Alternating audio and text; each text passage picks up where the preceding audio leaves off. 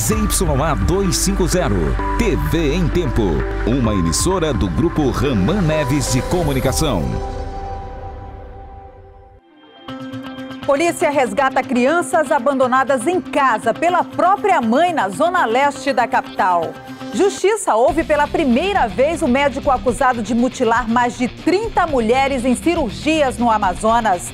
Pai encontra a cabeça de filho desaparecido no interior de Lábrea, sul do estado. Deputados voltam ao trabalho e governador anuncia a convocação dos aprovados no concurso da Suzan de 2014. Relatório da Assembleia Legislativa aponta contaminação de 7 mil poços artesianos aqui na capital. E no futebol tem a vitória do Manaus sobre o Remo na Arena da Amazônia no primeiro confronto pela Copa Verde. O Jornal em Tempo desta quinta-feira começa agora.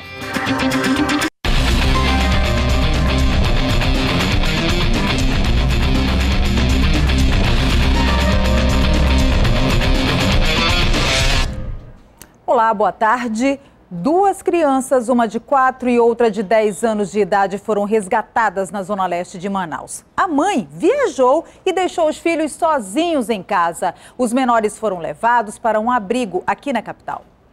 Uma denúncia anônima levou o conselho tutelar até esta casa de madeira onde os irmãos estavam sozinhos no conjunto Ouro Verde, no Coroado. Ou melhor, quase sozinhos. Na entrada da residência, um rato morto e na parte de dentro, um cachorro dormia com as crianças. Tinha um ventilador lá ligado direto, ali é um risco muito grande lá para as crianças, que é forro de PVC com madeira, né? A gente sabe que em segundo aquilo ali pega fogo rápido. É, muitas fezes de rato dentro da casa, na cama também.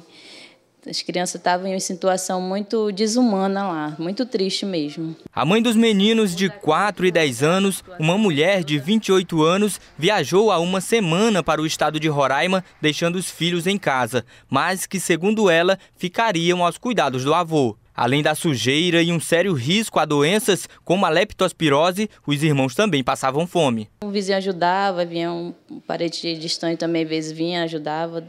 Mas era assim, na rua, a gente chegou lá, tanto que eles estavam correndo atrás de papagaio, direto na rua mesmo. Os irmãos foram resgatados e levados para a delegacia especializada em proteção à criança e ao adolescente, e depois encaminhados para o SAICA, o Serviço de Acolhimento para Crianças e Adolescentes. A mãe das crianças continua viajando, mas quando ela retornar para Manaus, vai ser indiciada pelo crime de abandono de incapaz e pode até perder a guarda dos filhos.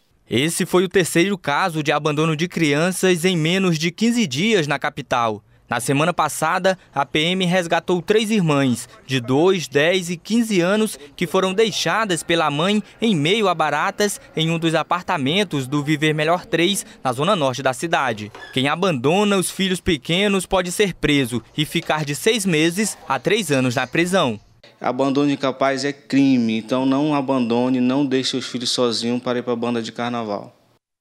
É um absurdo, né? E olha, um pai encontrou a cabeça do próprio filho em uma área de mata na terra indígena do Caititu, em Lábrea, no interior do estado. Priscila Gama tem os detalhes. É isso mesmo, Maurício Marques da Silva, de 19 anos, estava desaparecido desde a segunda-feira. Segundo informações repassadas pelo pai, ele teria saído de casa com bebidas alcoólicas, dizendo que iria encontrar quatro amigos em uma ilha do município de Lábrea. Horas depois do rapaz sair de casa, o pai foi à procura do filho, chegou a encontrar os quatro amigos de Maurício que disseram que o filho dele estaria em uma casa. Assim que o pai chegou no local, local, ele não encontrou o filho, apenas a cabeça dele. A polícia suspeita que os quatro rapazes tenham cometido o crime. O motivo ainda é investigado. Eu volto com você no estúdio.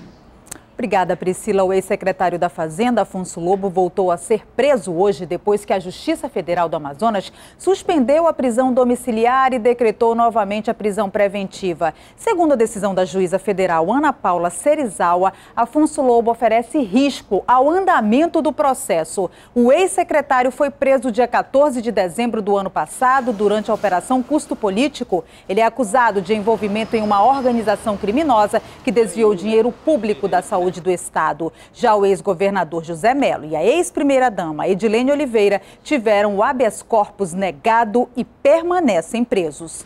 A seguir, governador abre trabalhos na Assembleia Legislativa e anuncia convocação de aprovados em concurso da Suzan. E ainda a vitória do Manaus sobre o Remo do Pará pela Copa Verde. É já já.